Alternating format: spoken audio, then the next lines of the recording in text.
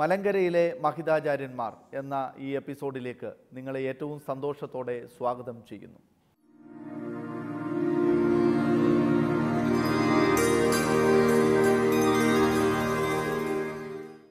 ഇന്ന് നമുക്ക് ഈ എപ്പിസോഡിൽ അതിഥിയായി എത്തിച്ചേർന്നിരിക്കുന്നത്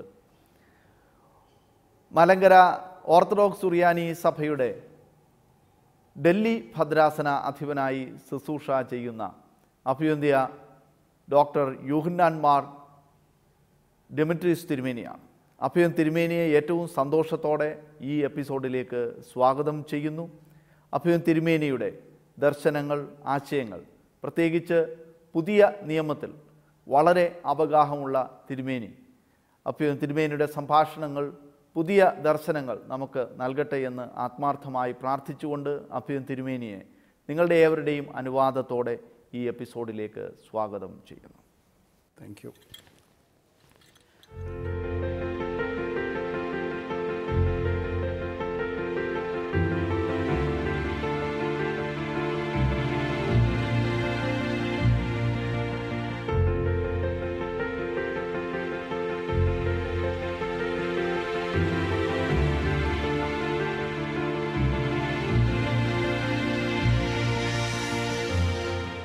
അഭ്യന്ത്യ തിരുമേനിയുടെ വളരെ തിരക്കിട്ട ഷെഡ്യൂളിന് നടുവിൽ ഇപ്രകാരം സമയം കണ്ടെത്തുകയും വേർഡ് ടു വേർഡ് ചാനലിന് ഇപ്രകാരം ഒരു ഇന്റർവ്യൂ അനുവദിക്കുകയും ചെയ്തതോർത്ത് ദൈവത്തിന് സ്തോത്രം കരയേറ്റുന്നു അഭ്യൻ തിരുമേനിയെ ഈ എപ്പിസോഡിലേക്ക് ഏറ്റവും വിനയത്തോടെ സ്വാഗതം ചെയ്യുന്നു. Thank you sir word to word ശുശ്രൂഷയുടെ എല്ലാ ശ്രോതാക്കൾക്കും കാണികൾക്കുമുള്ള പ്രത്യേകമായിട്ടുള്ള യേശു ക്രിസ്തുവിന്റെ നാമത്തിലുള്ള വന്ദനം ആദ്യമായിട്ട് രേഖപ്പെടുത്തട്ടെ. ഇങ്ങനെയുള്ള ഒരു സംഭാഷണത്തിൽ ബന്ധപ്പെടുവാൻ തക്കവണ്ണം അച്ഛന്റെ ഒരു സമീപനവും അങ്ങേയറ്റം സ്വാഗതം ചെയ്യുന്നു. അതുകൊണ്ട് ഇന്നത്തെ ഈ ഒരു സംഭാഷണത്തിലേക്ക് പ്രത്യേകമായിട്ട് ബന്ധപ്പെടുവാനായിട്ടുള്ള സന്തോഷം കൂടി രേഖപ്പെടുത്തിക്കൊള്ളട്ടെ. അഭ്യന്തര തിരുമേനി പ്രത്യേകിച്ച് ഒരു ഡയാസ്പൊറ കമ്മ്യൂണിറ്റി കേരളത്തിന് പുറത്ത് താമസിക്കുന്ന മലയാളികളുടെ സംഗമങ്ങൾ അവരുടെ പ്രശ്നങ്ങൾ അവരുടെ വേദനകളൊക്കെ ഒപ്പിയെടുക്കുകയും അവരെ അടുത്തറിയുകയും അവരെ ശുശ്രൂഷിക്കുന്ന ഇടയ പരിപാലന ശുശ്രൂഷയ്ക്ക് നേതൃത്വം നൽകുകയും ചെയ്യുന്ന അഭ്യന്തര തിരുമേനിയാണ്. പ്രവാസ ജീവിതത്തിലെ മലയാളികളുടെ അവരെ അഭിമുഖീകരിക്കുന്ന പ്രതിസന്ധികൾ വെല്ലുവിളികൾ ഏതെല്ലാം തരത്തിലുള്ളതാണ്? അച്ഛാ ഇതിനകത്തുള്ള താല്പര്യം പ്രധാനമായിട്ട് ഒരു തരത്തിൽ പറഞ്ഞാൽ ഡിയാസ്പറയുടെ ഒരു സം ഒരു പശ്ചാത്തലത്തിൽ തന്നെയാണ് ജനിച്ചു വളർന്നത്. എന്റെ ഫാദർ എന്റെ പിതാവ് നേവിയിൽ ആയിരുന്നതുകൊണ്ട് ഞങ്ങൾക്ക് ഈ പല സ്ഥാനങ്ങളിലേക്കും ഇങ്ങനെ ട്രാൻസ്ഫർ ആകുന്നതുകൊണ്ട് ഒരു ഉറച്ച അല്ലെങ്കിൽ നമ്മൾ സാധാരണ കാണുന്നതായിട്ടുള്ള ഒരു ജീവിത ശൈലിയിൽ നിന്നും വളരെ വ്യത്യാസമാണ്. അതുകൊണ്ട് ഈ പോസ്റ്റിംഗ് അനുസരിച്ച് ബോംബെയിലോ അല്ലെങ്കിൽ മറ്റേതെങ്കിലും ഒരു സ്ഥാനത്താകുന്നതുകൊണ്ട് മിക്കവാറും ഒക്കെ ഈ ഇംഗ്ലീഷ് മീഡിയം സ്കൂളിൽ പഠനം ലഭിച്ചു. അങ്ങനെ മലയാളവുമായിട്ട് ശരിക്കും പറഞ്ഞാൽ ഒരു ബന്ധം ചെറുപ്രായത്തിലെ നഷ്ടപ്പെട്ടു എന്ന് പറയാം. അതുകൊണ്ട് ഡയാസ്പറയുടെ പശ്ചാത്തലത്തിൽ വളർന്നതായിട്ടുള്ള ഒരു പശ്ചാത്തലമാണ് എന്റെ വ്യക്തിപരമായിട്ടുള്ള ജീവിതത്തിൽ. അതുകൊണ്ട് എനിക്ക് നിശ്ചയമായിട്ടും ഈ കേരളത്തിന്റെ പുറത്ത് താമസിക്കുന്നതായിട്ടുള്ള നമ്മുടെ ആൾക്കാരുടെ വിഷയങ്ങളെ ഏറെക്കുറെ ഒന്ന് മനസ്സിലാക്കാനായിട്ട് സാധിക്കുന്നുണ്ട്. അപ്പോൾ ഒന്ന് പ്രധാനമായിട്ട് ഈ മലയാളവുമായിട്ടുള്ള ബന്ധം നമുക്ക് മിക്കവാർക്കും ഈ കേരളത്തിന് പുറത്തില്ലാത്തവരുടെ സാഹചര്യത്തിൽ. അത് സാംസ്കാരികവുമായിട്ടുള്ളൊരു ബന്ധമുണ്ട്. അപ്പോൾ നമുക്ക് ഓർത്തഡോക്സ് സഭയെ സംബന്ധിച്ചിടത്തോളം അല്ലെങ്കിൽ കേരളത്തിലെ സഭകളെ സംബന്ധിച്ചിടത്തോളം ഒരു വിശ്വാസികളുടെ പശ്ചാത്തലം എന്ന് പറയുന്ന സാംസ്കാരികവുമായിട്ടുള്ളൊരു ബന്ധത്തിലാണ്.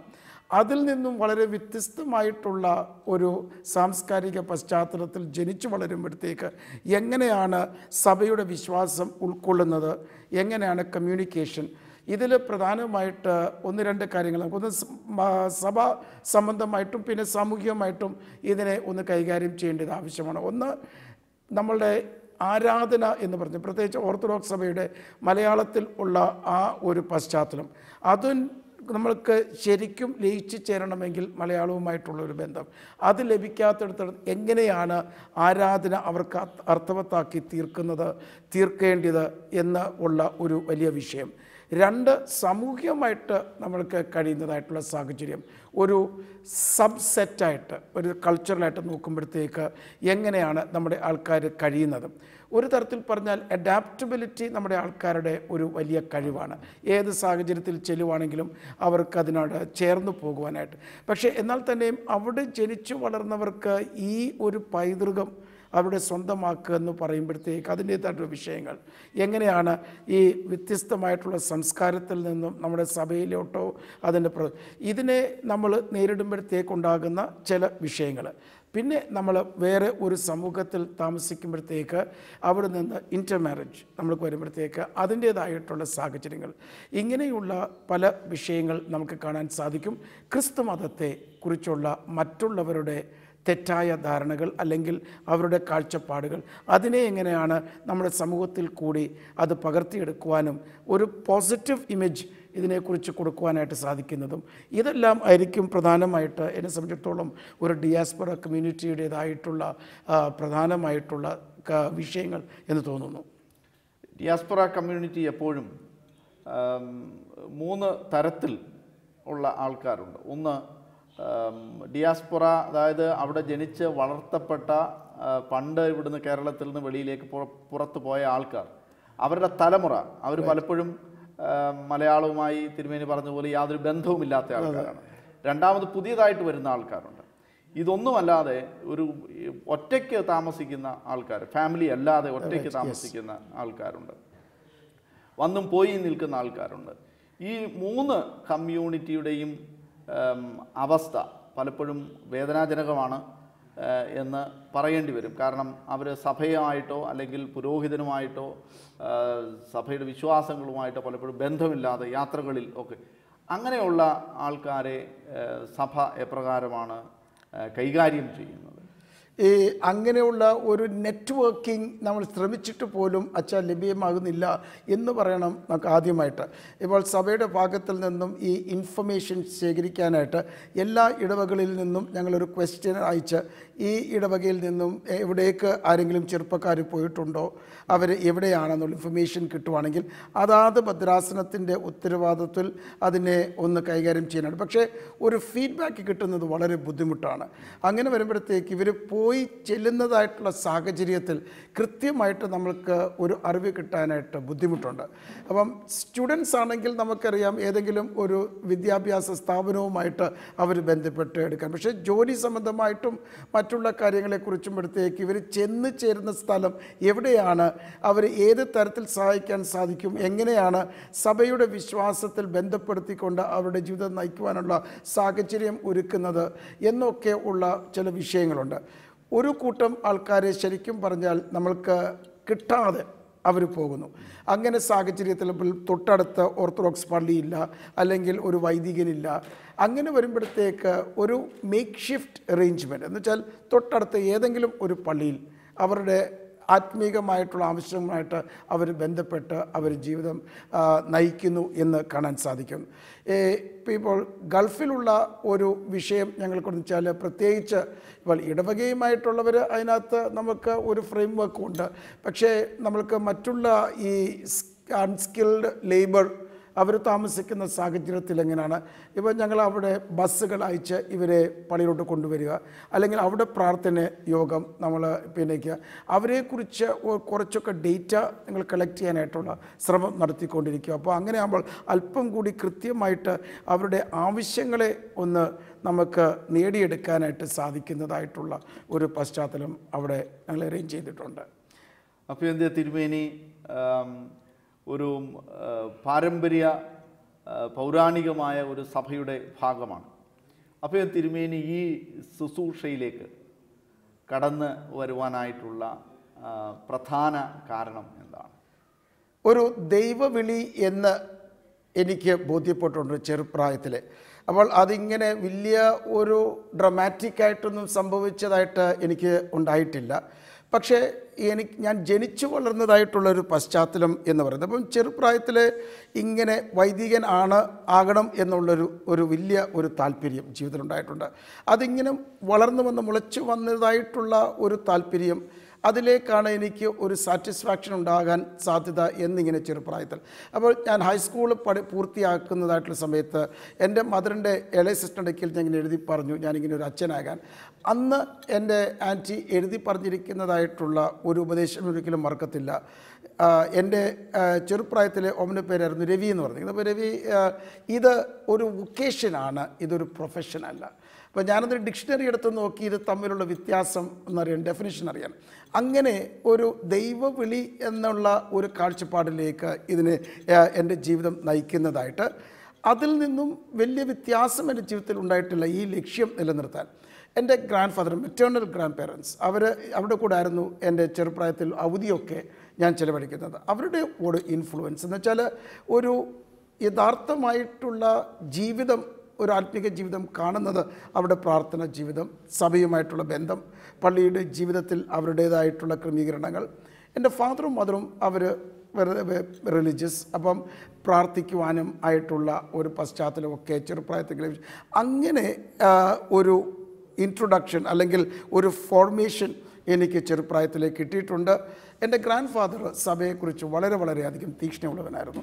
അപ്പം എന്റെ അടുക്കൽ ഓരോ കഥകൾ പറഞ്ഞ് ഓരോ ചരിത്ര സംഭവങ്ങളും ഒക്കെ വിവരിച്ച് തന്ന് അങ്ങനെയുള്ള ഒരു ഇൻഫ്ലുവൻസ് ശരിക്കും പറഞ്ഞാൽ എന്റെ ജീവിതത്തിൽ നേടിയിട്ടുണ്ട്. അതുകൊണ്ട് ഇതെല്ലാം പലതരത്തിലുള്ള നീർച്ചാലുകളായിട്ട് കണക്കാക്കിക്കൊണ്ട് ജീവിതത്തെ ഒരു പ്രത്യേക ഡയറക്ഷനിലേക്ക് നയിക്കുന്നതായിട്ട് എനിക്ക് തോന്നിയിട്ടുണ്ട്. അപ്പം അങ്ങനെ ഞാൻ പ്രത്യേകിച്ചും എന്റെ ഡിഗ്രി കഴിഞ്ഞപ്പോഴത്തേക്ക് ഇതിലേക്ക് വളരെ ഉറപ്പായിട്ട് നീങ്ങുവാനായിട്ടുള്ള ഒരു താല്പര്യം ഒരു തീരുമാനം ജീവിതത്തിൽ ഉണ്ടായിട്ടുണ്ട്. തിരുമേനിയുടെ വിദ്യാഭ്യാസം പ്രത്യേകിച്ച് സെക്കുലർ എഡ്യൂക്കേഷൻ ഏതൊക്കെ സ്ഥലങ്ങളിലാണ് അച്ഛാ ഞാൻ പിന്നെ എന്റെ ഫാദർ ഞാൻ നേവി നേവിയിലായിരുന്നു പറഞ്ഞിരിക്കുന്നത് പോലെ പിന്നെ ബോർഡിംഗ് സ്കൂളിലായിരുന്നു ചെറുപ്രായം തൊട്ടിൽ അപ്പം ആദ്യത്തെ ഒരു ആറ് ക്ലാസ്സുകളിൽ എല്ലാം കൊല്ലത്ത് ഇൻഫന്റ് ജീസസ് എന്ന് പറഞ്ഞിരിക്കുന്നതായിട്ടുള്ള കേരളത്തിലുള്ള ഇംഗ്ലീഷ് മീഡിയം സ്കൂളായിരുന്നു പിന്നെ ബാംഗ്ലൂരിലോട്ട് മാറി.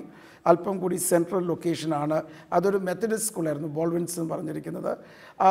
അങ്ങനെ ഹൈസ്കൂൾ എല്ലാം അങ്ങനത്തെ ഒരു പശ്ചാത്തലത്തിൽ ഇംഗ്ലീഷ് മീഡിയം സ്കൂളിൽ അപ്പം അതുകൊണ്ടാണ് ഞാൻ പറഞ്ഞ മലയാളവുമായിട്ടുള്ള ഒരു ബന്ധം എനിക്ക് ചെറുപ്രായത്തിൽ നഷ്ടപ്പെട്ടു. പ്രത്യേകിച്ച് ബാംഗ്ലൂരിൽ വെച്ചാൽ ഞങ്ങളുടെ കോമൺ ലിംഗ്വ ഫ്രാങ്ക എന്ന് പറഞ്ഞിരിക്കുന്നത് ഇംഗ്ലീഷാണ് കാരണം നാട് നാടിന്റെ പല ദിക്കുകളിൽ നിന്നും അല്ല പുറത്തുനിന്നും വരുന്നതായിട്ടുള്ള വിദ്യാർത്ഥികളെല്ലാം കമ്മ്യൂണിക്കേറ്റ് ചെയ്യുന്നത് ഇങ്ങനെ ഇംഗ്ലീഷിലാണ് അപ്പം അവരവരുടെ പശ്ചാത്തലത്തിൽ കൂടുതലായിട്ട് ഇംഗ്ലീഷ് അങ്ങ് സംസാരിക്കാൻ തുടങ്ങുന്നതായിട്ട്. അപ്പം ആ സാഹചര്യത്തിൽ അവിടെ ഇംഗ്ലീഷ് മീഡിയം സ്കൂളിൽ പഠിച്ചു. പിന്നെ സ്കൂൾ അധ്യാപക വിദ്യാ സ്കൂൾ ഹൈസ്കൂളെല്ലാം പഠിച്ചു കഴിഞ്ഞപ്പോഴത്തേക്ക് ഫാദർ റിട്ടയർ ചെയ്യാറായി. ഞാൻ കൊല്ലത്തെ ഫാത്തിമ കോളേജിലാണ് ഞാൻ എന്റെ B A degree English literature പൂർത്തിയാക്കിയത്. അത് കഴിഞ്ഞിട്ട് എന്റെ ബ്രദർ അമേരിക്കയിലുണ്ടായിരുന്നു. ഇങ്ങനെ അച്ഛന് ആകാനായിട്ടുള്ള വൈദികനാകാനുള്ള താല്പര്യത്തിൽ എനിക്ക് അവിടെ മാസച്യൂസറ്റ്സിൽ ഒരു ഒരു ഇവാഞ്ചലിക്കൽ സെമിനറിയിൽ മാസ്റ്റേഴ്സ് ഡിഗ്രി ചെയ്യാനായിട്ടുള്ള ഒരു സാഹചര്യം കിട്ടുന്നത് അങ്ങനെ ഞാൻ ഡിഗ്രി കഴിഞ്ഞപ്പോഴത്തേക്ക് ശരിക്കും പറഞ്ഞാൽ സഭയുടെ ഒരു റെഗുലർ ചാനലിൽ നിന്നും വ്യത്യസ്തമായിട്ട് എനിക്ക് ഒരു തിയോളജിക്കൽ ഫോർമേഷന് എഡ്യൂക്കേഷന് വേണ്ടി ഞാൻ ഇറങ്ങിത്തിരിച്ചു. അപ്പം ആ ഡിഗ്രി കഴിഞ്ഞിട്ടാണ് കൂടുതലായിട്ട് എനിക്കിങ്ങനെ പുതിയ നിയമത്തിലുള്ളൊരു ഇൻട്രസ്റ്റ് വരികയും അങ്ങനെ അതിനെ തുടർന്ന് കൂടുതൽ പഠിക്കുകയും ചെയ്തിരുന്നത്. അപ്പം പ്രധാനമായിട്ടും ഹൈസ്കൂളും ഒക്കെ നാട്ടിൽ തന്നെയാണ് ഡിഗ്രി നാട്ടിൽ തന്നെയാണ്. അത് കഴിഞ്ഞിട്ട് പിന്നെ വിദേശത്തായിരുന്നു എന്റെ പഠനം മുഴുവനും. അപ്പോൾ എന്റെ തിരുമേനിയുടെ ഡോക്ടർ സ്റ്റഡീസ് പ്രത്യേകിച്ച് വിദേശത്ത് പുതിയ നിയമത്തിൽ കോൺസെൻട്രേറ്റ് ചെയ്താണല്ലോ എന്റെ സ്റ്റഡീസ് വന്നത്. അപ്പോൾ തിരുമേനിയുടെ ഡോക്ടറൽ തീസിസിനെ കുറിച്ചും പ്രത്യേകിച്ച് ന്യൂ ടെസ്റ്റ്മെന്റിന്റെ ഏത് പ്രത്യേക വിഭാഗം കോൺസെൻട്രേറ്റ് ചെയ്താണ് അപ്പോൾ തിരുമേനി പഠിച്ചത്. അതിനെക്കുറിച്ച് ഒന്ന് വിവരിക്കാം. പിന്നെ ആദ്യമായിട്ട് എന്റെ ഈ ദൈവശാസ്ത്ര പഠനം ആരംഭിച്ചപ്പോൾ പുതിയ നിയമത്തിൽ ഒരു വലിയ ഇൻട്രസ്റ്റ് ഡെവലപ്പ് ചെയ്തു. അത് കഴിഞ്ഞിട്ട് മാസ്റ്റേഴ്സ് ഡിഗ്രി കഴിഞ്ഞപ്പോഴത്തേക്ക് എന്നാൽ ഡോക്ടർ ഡിഗ്രി വേണം എന്നുള്ളതിന്. അപ്പോൾ അങ്ങനെ ഈ പഠനത്തിന്റെ ആദ്യത്തെ ഒരു ലെവലെന്ന് പറയുന്നത് ഒരു കോംപ്രിഹെൻസീവ് അപ്രോച്ച് എന്നാൽ പുതിയ നിയമത്തിലുള്ള എല്ലാ ആസ്പെക്ട്സും നമ്മളതിനെ പഠിച്ച് അതിന്റെ ബാക്ക്ഗ്രൗണ്ട് യഹൂദിയ മതത്തിന്റേതായിട്ടുള്ള. പക്ഷേ കൂടുതലായിട്ട് ഞാൻ ഫോക്കസ് ചെയ്തത് സെന്റ് ദ ഗോസ്പലായിരുന്നു എന്റെ തീസസ് ചെയ്തത് ആ ഏരിയയിലാണ് ഞാൻ എന്റെ തീസസ് ചെയ്തുകൊണ്ടിരിക്കുന്ന സമയത്താണ് പുതിയ നിയമത്തിന്റെ സോഷ്യോളജിക്കൽ അനാലിസിസ് വളരെ ശക്തമായിട്ട് പുതിയ നിയമത്തിന്റെ വ്യാഖ്യാന ഭാഗമായിട്ട് വരുന്നത്. അതിലെനിക്ക് വളരെയധികം ഇൻട്രസ്റ്റ് തോന്നി. അങ്ങനെ ഒരു സോഷ്യോളജിക്കൽ അനാലിസിസിന്റെ രീതിയിൽ പുതിയ നിയമം പഠിക്കണം അല്ലെങ്കിൽ സെന്റ് ജോൺ പഠിക്കണം എന്നുള്ള താല്പര്യത്തിൽ ഗവേഷണം ആരംഭിച്ചു. പ്രധാനമായിട്ട് യോഹനാന്റെ സുവിശേഷത്തിൽ പതിനാല് തൊട്ട് പതിനാറ് വരെ കർത്താവിന്റെ ഫേവൽ ഡിസ്കോസസ് എന്ന് പറയുന്നത്. അപ്പം അതിനെ ഒന്ന് സോഷ്യോളജിക്കൽ അനാലിസിസ് നടത്തിക്കൊണ്ട് ഈ യോഹന്നാന്റെ സമൂഹത്തിൽ എങ്ങനെയാണ് പരിശുദ്ധാത്മാവിനെക്കുറിച്ച് അവിടെ ഉപയോഗിക്കുന്ന ഒരു പദമുണ്ട് പാരക്ലീത്ത എന്ന് പറഞ്ഞ് പാരക്ലീർ ഈ പാരക്ലീത്തയെക്കുറിച്ചുള്ള ഒരു വിശ്വാസ രൂപീകരണം എങ്ങനെ അവരുടെ ചരിത്ര പശ്ചാത്തലത്തിൽ നമുക്ക് മനസ്സിലാക്കാൻ സാധിക്കുന്നുണ്ട് എന്ന് ഉള്ള പഠനമായിരുന്നു. അപ്പോൾ ഒരു സെക്ടേറിയൻ കോൺഷ്യസിൽ നിന്ന് അവർ ഒരു ക്രിസ്തീയ വിശ്വാസത്തിന്റെ ആർട്ടിക്കുലേഷനിലേക്ക് വരികയും പിന്നെ ഒരു ക്രിസ്തീയ സമൂഹം മൊത്തമായിട്ട് ക്രിസ്ത ലോകം എമ്പാടും ഉള്ള ഒരു രീതിയിൽ അവിടെ കാഴ്ചപ്പാട് വ്യത്യാസം വരുമ്പോഴത്തേക്ക് പരിശുദ്ധാത്മാവിനെക്കുറിച്ച് അവളുടെ അനുഭവങ്ങൾ ഇത് പ്രധാനമായിട്ട് ഈ മൂന്ന് അധ്യായങ്ങൾ നമുക്ക് കാണാൻ സാധിക്കുന്നു. പതിനാലിൽ പതിനഞ്ചിലും പതിനാറിലും. അപ്പോൾ അതിന്റെ ഒരു സോഷ്യോളജിക്കൽ അനാലിസിസ് ആയിരുന്നു എന്റെ തീസിസ് എന്ന് പറയുന്നത്. അഭ്യന്തര തിരുമേനി കുടുംബത്തെ സംബന്ധിച്ച് മാതാപിതാക്കൾ അതുപോലെ തന്നെ സഹോദരങ്ങൾ അവരെ സംബന്ധിച്ച് അറിയാൻ താല്പര്യമുണ്ട്. എന്റെ ഫാദർ പിന്നെ കേരളത്തിൽ പിന്നെ ജനിച്ചു വളർന്നതാണ്. നേവിയിൽ ചെറുപ്രായത്തിൽ ചേർന്നിട്ട് അങ്ങനെ മദർ കേരളത്തിൽ നിന്ന് ഉണ്ടായിരുന്നു. രണ്ടുപേരുടെ വിവാഹ ജീവിതം എല്ലാം കൂടെ കഴിഞ്ഞ് അവരുടെ ഫാദർ ഇങ്ങനെ നേവിയിൽ അത് തന്നെ ഒരു കരിയർ ഓഫീസറായിരുന്നു അപ്പോൾ അങ്ങനെ പലയിടത്തായിട്ട് ഇങ്ങനെ ട്രാൻസ്ഫറായിട്ട് ഇങ്ങനെ പോകുന്നുണ്ടായിരുന്നു. അവർ രണ്ടുപേരും അങ്ങനെ നേവിയിൽ ഉള്ള ഒരു ജീവിത പശ്ചാത്തലമാണ്. അതുകൊണ്ട് തന്നെ ചിലപ്പോൾ പലർക്കും ഒരു സംശയം എങ്ങനെയാണ് ഈ ഒരു വഴിയിലേക്ക് തിരിഞ്ഞു വരാൻ സാധിച്ചത്? അതുകൊണ്ട് ഞാൻ പറഞ്ഞത് ഫാദറും മദറും എന്റെ ഗ്രാൻഡ് ഫാദറും ഒക്കെ അവരുടെ ഒരു ഇൻഫ്ലുവൻസ് അതിനകത്ത് വളരെ പ്രധാനപ്പെട്ടതായിരുന്നു. എന്റെ അമ്മയെ സംബന്ധിച്ചിടത്തോളം വളരെ താല്പര്യമായിരുന്നു. ഞങ്ങൾ അഞ്ച് മക്കളായിരുന്നു. ആരെങ്കിലും ഒരാൾ ദൈവ വേലയ്ക്ക് വേണ്ടി പ്രത്യക്ഷമായിട്ട് പോകുന്നതിനെക്കുറിച്ച് വളരെ സന്തോഷം. എന്റെ മൂത്ത് ഞങ്ങൾ എനിക്ക് ഞാൻ രണ്ടാമത്തേതാണ് എന്റെ ഫാമിലി എന്റെ മൂത്ത ബ്രദറുണ്ട് ഇളയത് രണ്ട് ബ്രദേഴ്സും കൂടെ. അതിന്റെ ഇടയ്ക്ക് ഒരു സിസ്റ്ററും കൂടിയുണ്ട്. എന്റെ മൂത്ത ബ്രദർ ഇപ്പോൾ ഡൽഹിയിൽ സെല്ലുലർ ഓപ്പറേറ്റേഴ്സ് അസോസിയേഷൻ ഓഫ് ഇന്ത്യയുടെ ഡയറക്ടർ ജനറലാണ് എന്റെ ഇളയ ബ്രദർ ഈ റൈറ്റ് അറ്റ് ഹോം എന്ന് പറഞ്ഞിരിക്കുന്നത് ഫാമിലി സർവീസ് അമേരിക്കയിൽ അവിടെ ഇങ്ങനെ കിനറ്റിക്കറ്റ് എന്ന് പറഞ്ഞിരിക്കുന്ന സ്ഥലത്ത് അവിടെ സർവീസ് പ്രൊവൈഡ് ചെയ്യുന്നു. എന്റെ ഏറ്റവും ഇളയ ബ്രദർ ഫുഡ് മാനേജ്മെന്റിലായിട്ട് എക്സിക്യൂട്ടീവ് ഷെഫായിട്ട് പിന്നെ ബോൾട്ടിമോറിൽ അവിടെ ഏ, കഴിയുകയാണ്. എന്റെ സിസ്റ്ററിനെ കെട്ടിച്ച് കോട്ടയത്താണ് സെറ്റിൽ ചെയ്തിരിക്കുന്നത്. അഭ്യന്തര തിരുമേനിയുടെ കേരളത്തിലെ നാടും അവിടുത്തെ പശ്ചാത്തലങ്ങളെക്കുറിച്ച് അഭിനന്ദ തിരുമേനിയുടെ ഓർമ്മയിൽ ഉള്ളത് ഒന്ന് പറയാമോ? വളരെ സന്തോഷകരമായിട്ടുള്ള കാലഘട്ടം.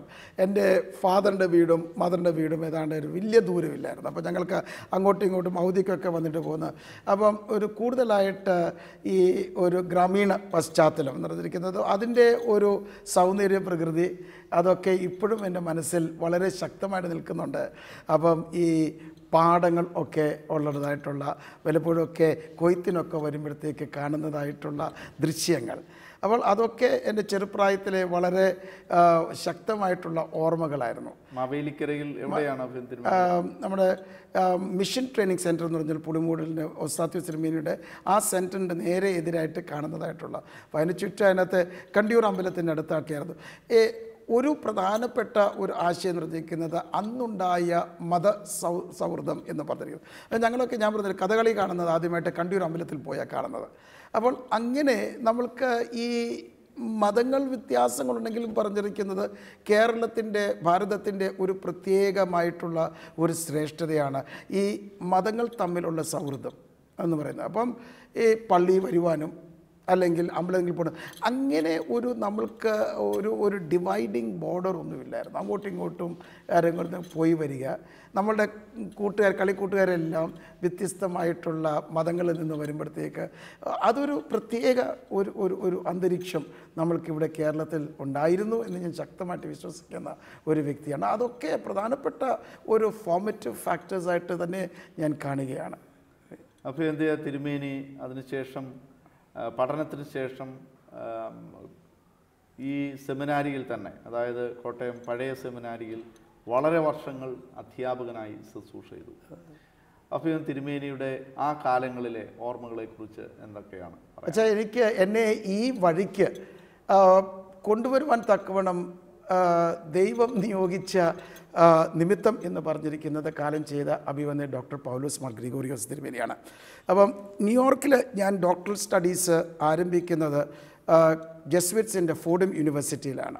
ആയിരത്തി തൊള്ളായിരത്തി എഴുപത്തി ആറിലാണ് ഞാൻ എന്റെ പഠനം അവിടെ ആരംഭിക്കുന്നത്.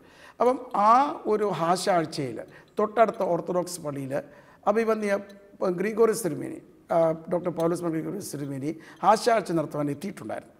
അപ്പം ഞാൻ സഭയുടെ ഒരു ഔദ്യോഗിക സ്പോൺസറിങ് ഒന്നും ലഭിക്കാതെ എന്റെ പഠനം ആരംഭിച്ചത്. അപ്പോൾ തിരുമേനിയുമായിട്ട് ഞങ്ങളുടെ വികാരി അച്ഛൻ അവിടുത്തെ പിന്നെ പരിചയപ്പെടുത്തി. അപ്പം തിരുമേനി എന്നിടയ്ക്കയിൽ പല കാര്യങ്ങൾ ചോദിച്ചു വായനയുടെ കാര്യം. അപ്പോൾ ഞാനിങ്ങനെ പറഞ്ഞു ഓർത്തഡോക്സ് തിയോളജിൻസിനെ കുറിച്ചൊക്കെ ഞാൻ വായിച്ചിട്ടുണ്ട് എന്നൊക്കെ പറഞ്ഞ് തിരുമേനി കാര്യങ്ങളെല്ലാം കേട്ട് കഴിഞ്ഞിട്ട് ഫോർഡം യൂണിവേഴ്സിറ്റിയിൽ തന്നെയായിരുന്നു തിരുമേനിയുടെ താമസവും.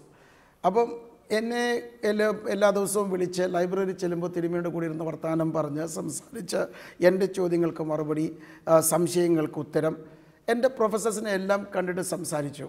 അത് കഴിഞ്ഞിട്ട് തിരുമേനി ഒരു മൂന്ന് മാസത്തെ താമസ ശേഷം എന്റെ അടുക്കൽ പറഞ്ഞു രവി ഞാൻ ഈ പ്രാവശ്യം അമേരിക്കയിൽ വന്നിരിക്കുന്നത്. പുതിയ നിയമം പഠിപ്പിക്കാനായിട്ട് ഒരാളുടെ ദൈവം കാണിച്ചു തരും എന്നുള്ളതാണ്. അതുകൊണ്ട് രവിയുടെ പഠനം കഴിഞ്ഞിട്ട് സെമിനറി വന്ന് പഠിപ്പിക്കണം എന്ന് തിരുമേനിയാണ് ആദ്യമായിട്ട് എനിക്ക് ഒരു വാതിൽ തുറന്നു തരുന്നത്.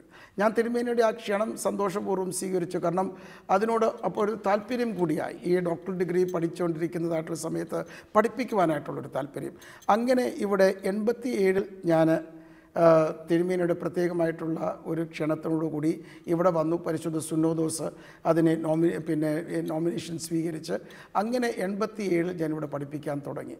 ഒരു വളരെ അനുഗ്രഹപ്രദമായ ഒരു കാലഘട്ടമായിരുന്നു. സഭയുടെ ഈ വൈദികരെ ഫോം ചെയ്യുന്നതായിട്ടുള്ള കാര്യത്തിലെ കുറിച്ച് അപ്പോൾ ഇവിടെ ഒരു പ്രത്യേകത എന്ന് പറഞ്ഞിരിക്കുന്നത് മൂന്ന് സഭകളും കൂടെ ചേർന്ന് പോസ്റ്റ് ഗ്രാജുവേറ്റ് നമ്മൾ പ്രോഗ്രാം സെറാംപൂറിന്റെ കെയർ ഓഫിൽ നമ്മളിവിടെ നടത്തുന്നുണ്ട്. മർത്തോമ സഭയും സി എസ് ഐ സഭയും കൂടെ ചേർന്നാണ്. F F R R C federated faculty in religion and culture in Kerala എന്ന് പറഞ്ഞിരിക്കുന്നത്. അപ്പോൾ ഇന്ത്യയിലുള്ള ഏത് ഭാഗത്തുനിന്നും നമ്മൾക്കിവിടെ സ്റ്റുഡൻസിന് വരുന്നുണ്ട്? അതുകൊണ്ട് ഈ ഇവിടെ ഉള്ള ഏഴ് ഡിസിപ്ലിനിലും എം ടി എച്ചിലും പിന്നെ ഡോക്ടർ ഡിഗ്രിയും സെറാംപൂരിൽ നിന്ന് നമുക്ക് ഡിഗ്രി കൊടുക്കുവാനായിട്ടുള്ള ഒരു സംവിധാനമുണ്ട്. അതുകൊണ്ട് അങ്ങനെയും ഉള്ള ഒരു എക്യുമെനിക്കൽ ഒരു രംഗത്ത് ഇടപെടാനായിട്ടുള്ള ഒരു അവസരം കൂടി ഇവിടെ പഠിപ്പിക്കുമ്പോഴത്തേക്ക് ലഭിച്ചിട്ടുണ്ടായിരുന്നു. അപ്പോൾ ഈ ഇരുപത്തിരണ്ട് വർഷം ഈ ബി ഡി ഡിഗ്രി പഠിപ്പിക്കുകയും ബാച്ചലർ ഓഫ് ഡിവിനിറ്റിയിൽ ഓർത്തഡോക്സ് വൈദികരെ ആകുവാൻ ഉദ്ദേശിക്കുന്നവരെ പഠിപ്പിക്കുകയും അതേ സമയത്ത് മാസ്റ്റേഴ്സ് ഡിഗ്രിയിൽ ഡോക്ടർ ഡിഗ്രിയിലും ഉള്ളവരെ പരിശീലിപ്പിക്കുകയും പഠിപ്പിക്കുകയും ചെയ്ത് Marthoma C S I Pentecostal Presbyterian Baptist ഇവരെല്ലാവരും ഇവിടുന്ന് പഠിപ്പിക്കുമ്പോഴത്തേക്കുള്ള ഒരു ഇന്ററാക്ഷൻ അതൊരു വളരെ നല്ല ഒരു കാലഘട്ടം വളരെ ഒരു റിവാർഡിങ് എക്സ്പീരിയൻസ് ആയിട്ട് ഞാൻ കാണുകയാണ്.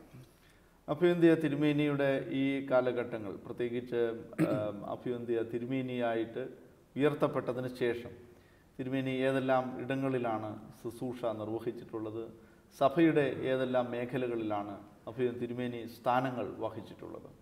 അച്ഛ പഠിപ്പിച്ചുകൊണ്ടിരിക്കുമ്പോൾ തന്നെ എനിക്ക് എന്റെ എക്യുമെനിക്കൽ ഇൻട്രസ്റ്റ് അത് അതെനിക്ക് തോന്നുന്നത് ഞാൻ പഠിച്ചുകൊണ്ടിരിക്കുമ്പോൾ ഞാനിപ്പം ഒരു പറഞ്ഞാൽ പഠനം ഞാൻ ആരംഭിച്ചത് ഒരു ഒരു ഇവാഞ്ചലിക്കൽ സെമിനാരിയിലാണ് പിന്നെ ഡോക്ടർ ഡിഗ്രി ഞാൻ തുടർന്നത് ഒരു ജസ്വിറ്റ് കത്തോലിക്കരുടെ യൂണിവേഴ്സിറ്റിയിലാണ്. ഇതൊക്കെ എനിക്കൊരു എക്യുമെനിക്കൽ ബാക്ക്ഗ്രൗണ്ട് ഒരു പശ്ചാത്തലം തന്നിട്ടുണ്ട്. അപ്പം ഈ സ്ഥാപനങ്ങളൊന്നും തന്നെയും ഒരു മതപരിവർത്തനത്തിന് ഒരു നിർബന്ധം പറഞ്ഞിട്ടില്ലായിരുന്നു. ഇത് you are free to follow what you wanted അപ്പം അങ്ങനെയുള്ള ഒരു പശ്ചാത്തലത്തിൽ വരുമ്പോഴത്തേക്കും അവിടെ ഉള്ള മറ്റുള്ള പള്ളികളൊക്കെ സന്ദർശിച്ച് അവരുടെ ആരാധനയും കണ്ട് ഫ്രം എപ്പിസ്കുപ്പേലിയൻ ടു പെൻഡിക്കോസ്റ്റൽ ഇതിനെല്ലാം പോയി സന്ദർശിക്കാനൊരു സമയം. അപ്പം ദൈവം എല്ലാ സഭകളിലും പ്രവർത്തിക്കുന്നതായിട്ടുള്ള ചില സന്ദർഭങ്ങൾ എനിക്ക് കാണാൻ സാധിച്ചിട്ടുണ്ട്. അപ്പോൾ അങ്ങനെയുള്ള ഒരു കാഴ്ചപ്പാടിൽ ഇവിടെ സഭയുടെ പ്രവർത്തനത്തിൽ നേരിട്ട് ബന്ധപ്പെട്ടപ്പോഴത്തേക്ക് തൊണ്ണൂറ്റി ഒന്ന് തൊട്ട് എക്യുമെനിക്കൽ ഡിപ്പാർട്ട്മെന്റ് സഭയുടെ ഡിപ്പാർട്ട്മെന്റ് ഓഫ് എക്യുമെനിക്കൽ റിലേഷൻസിന്റെ സെക്രട്ടറി ആയിട്ട് എന്നെ നിയമിച്ചിട്ടുണ്ട്. അത് തൊട്ട് തിരുമേനി ആകുന്നത് വരെ ഞാൻ ആ സ്ഥാനം ഞാൻ തുടർന്നിട്ടുണ്ടായിരുന്നു. അതൊരു വലിയ ഇൻട്രസ്റ്റ് ആയിട്ട് ഞാൻ നിലനിർത്തിയിട്ടുണ്ട്. അന്ന് ആരംഭിച്ച ഡയലോഗ് ഇന്ററാക്ഷൻ അതിലൊക്കെ ഇപ്പോഴും നിലനിർത്തുവാൻ വളരെയധികം താല്പര്യമുണ്ട്. സമയത്തിന്റെ ഈ പരിമിതികൾ ഉള്ളതുകൊണ്ട് രണ്ട് ഏരിയയിൽ മാത്രമാണ് വളരെയധികം എന്റെ ഇൻവോൾവ്മെന്റ് വരുന്നത് എക്യുമെനിക്കൽ രംഗത്ത്. ഒന്ന് കത്തോലിക്കരമായിട്ട് ഓറിയന്റൽ ഓർത്തഡോക്സ് സഭകൾ തമ്മിലുള്ള ഡയലോഗ് ഒരു പത്ത് പതിനഞ്ച് വർഷങ്ങളായിട്ട് ഇപ്പോൾ നടന്നുകൊണ്ടിരിക്കുന്നുണ്ട്. വളരെ വളരെ ചെറിയ തോതിൽ നമ്മളുടെ ധാരണകൾ നമ്മൾക്ക് മുന്നോട്ട് നീക്കിക്കൊണ്ട് ആദ്യത്തെ സഭയിൽ ഉണ്ടായിരുന്ന ഒരു റപ്ചർ ഒരു ഒരു ഒരു സെപ്പറേഷൻ അതിനു മുൻപേ എങ്ങനെയായിരുന്നു സഭകൾ തമ്മിലുള്ള ബന്ധം എന്നൊരു നിലവാരത്തിലേക്ക് ഇതിനെ തിരിച്ചു കൊണ്ടുവരാനുള്ള ശ്രമമാണ്. പിന്നെ ഇവാഞ്ചലിക്കൽസ് എന്ന് പറഞ്ഞിരിക്കുന്നതായിട്ടുള്ള പ്രത്യേകിച്ച് ലുസാൻ കോൺഫറൻസിന് ശേഷം ഉണ്ടായിരിക്കുന്ന വളരെ വ്യത്യാസങ്ങൾ ഇവാഞ്ചലിക്കൽസിന്റെ ഇടയിൽ ഉണ്ടായിട്ടുണ്ട്. അപ്പോൾ ഇവാഞ്ചലിക്കൽ സെമിനറിയിൽ പഠിച്ചിരിക്കുന്നതായിട്ടുള്ളൊരു പശ്ചാത്തലം അതൊരു സഹായമായി കരുതിക്കൊണ്ട് ഈ ഏരിയയിൽ ഇങ്ങനെ ഡിസ്കഷനും ഡയലോഗുമുണ്ട് അതും ഞാൻ ബന്ധപ്പെടുന്ന പെടുന്നുണ്ട്. അപ്പം അല്ലാതെ തന്നെ മദ്രാസനത്തിൽ എക്യുമെനിക്കൽ ഓർഗനൈസേഷൻസ് അവരുടെ ആക്ടിവിറ്റീസിലെല്ലാം സജീവമായിട്ട് പങ്കുകൊള്ളാനായിട്ടുള്ളൊരു താല്പര്യം ഞാൻ ഇപ്പോഴും തുടരുന്നു ആനുകാലിക ദൈവശാസ്ത്രം അതിന്റെ ഏതെല്ലാം തലങ്ങളിൽ പ്രായോഗികമായി ഉപയോഗിക്കണം എന്നുള്ളത് അഭ്യുൻ തിരുമേനിയുടെ അഭിമുഖത്തിലൂടെ പ്രത്യക്ഷമായി തന്നെ അങ്ങയുടെ ദർശനങ്ങളിലൂടെ ഈ അഭിമുഖത്തിൽ വ്യക്തമാക്കി കഴിഞ്ഞു. അഭിമുഖം തിരുമേനിയുടെ ദർശനങ്ങൾ പ്രത്യേകിച്ച് പുതിയ നിയമ ദൈവശാസ്ത്രത്തിലുള്ള അറിവും പാണ്ഡിത്യവും അഭിമുഖം തിരുമേനിയുടെ ഡയോസിസിന്റെ അഡ്മിനിസ്ട്രേഷൻ അതിന്റെ ഇടയപരിപാലനം ഇതിനൊക്കെ ഏറ്റവും മുതൽക്കൂട്ടായി തീരും എന്നതിൽ യാതൊരു സംശയവുമില്ല. അപ്പോൾ തിരുമേനിയുടെ ശുശ്രൂഷകൾക്ക് എല്ലാ ഭാവുകങ്ങളും വേർഡ് ടു വേൾഡ് ചാനലിന്റെ പേരിൽ അർപ്പിക്കുന്നു. അഭ്യന്തിയ തിരുമേനിയുടെ ആയുരാരോഗ്യ സൗഖ്യത്തിനായി പ്രാർത്ഥിക്കുന്നു. പ്രാർത്ഥനാ നിർഭരമായ ആശംസകൾ അർപ്പിക്കുന്നു. താങ്ക് യു അച്ഛാ. ഇങ്ങനൊരു അവസരം ഇടിയാക്കി തന്നതിൽ ഏറെ സന്തോഷം. നന്ദി. ഈ പ്രേക്ഷകരോടും എല്ലാവരോടും പ്രത്യേകമായിട്ടുള്ള എന്റെ നന്ദി രേഖപ്പെടുത്തുന്നു. ദൈവം എല്ലാവരെയും അനുഗ്രഹിക്കട്ടെ എന്ന് പ്രത്യേകമായിട്ട് പ്രാർത്ഥിക്കുകയും ചെയ്യുന്നു.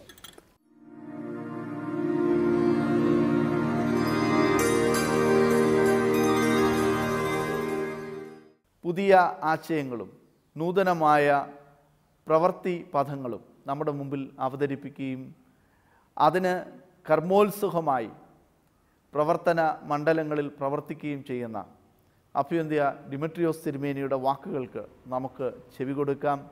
നമ്മുടെ ഉള്ളങ്ങളെ പ്രത്യേകിച്ച് കേരളത്തിന് വെളിയിൽ താമസിക്കുന്ന ഡൽഹിയുടെ പ്രദേശങ്ങളിൽ കടന്നു ചെല്ലുന്നവർക്ക് അഭ്യുൻ തിരുമേനിയെ അഭിമുഖീകരിക്കുവാനും അഭ്യുൻ തിരുമേനിയെ ബന്ധപ്പെടുവാനും സഭയോടുള്ള ബന്ധത്തിൽ നിലനിൽക്കുവാനുമൊക്കെ ഈ ഇന്റർവ്യൂ മുഖാന്തരമായി തീരട്ടെ എന്ന് ആത്മാർത്ഥമായി പ്രാർത്ഥിക്കുന്നു. അഭ്യുൻ തിരുമേനിക്ക് എല്ലാ ഭാവുകങ്ങളും പ്രാർത്ഥനാ നിർഭരമായ ആശംസകളും അർപ്പിച്ചുകൊണ്ട് ഈ എപ്പിസോഡ് ഇവിടെ പൂർണമാകുന്നു. പുതിയ എപ്പിസോഡിൽ നാം ഒരു പുതിയ ഇടയശ്രേഷ്ഠനുമായി കാണുന്നവരേക്കും. ദൈവം തമ്പുരാൻ നമ്മെ ആയിരിക്കുന്ന ഇടങ്ങളിൽ സൂക്ഷിക്കട്ടെ എന്ന് ആത്മാർത്ഥമായി പ്രാർത്ഥിക്കുന്നു.